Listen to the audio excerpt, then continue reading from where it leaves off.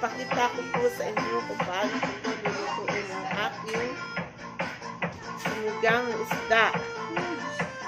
Kaya na po. Po, malinis na po yung ating isda. Ito po ay ang isdang maya-mayang puti. Ang tawag po dito sa Maynila ay sniper. Ayan po.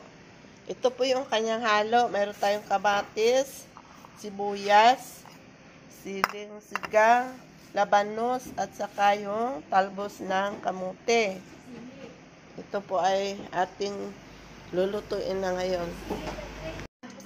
Ayan na, kumulo na yung ating sabaw. Ilalagay na natin yung isda. Ayan. Ayan na yung ating isda. Takpan muna natin. Hintayin natin kumulo uli para mahango yung ating Ayan, lagyan na po natin ng tamarin. Ayan po yung ating panghalo sa sinigang na isda.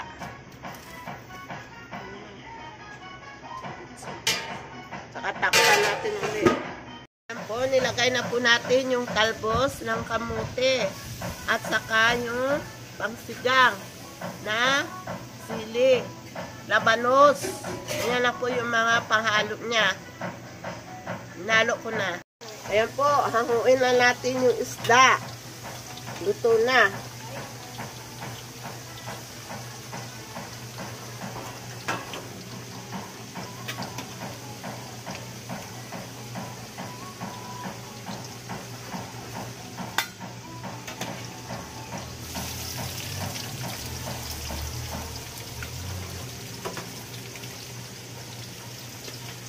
Ayan na po, luto na yung ating isdang sinigang ng maya-maya or sniper.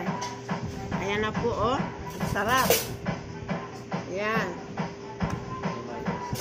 Tikman na natin yung kanyang sabaw. Sabaw pa lang, mapapawaw ka na sa sarap.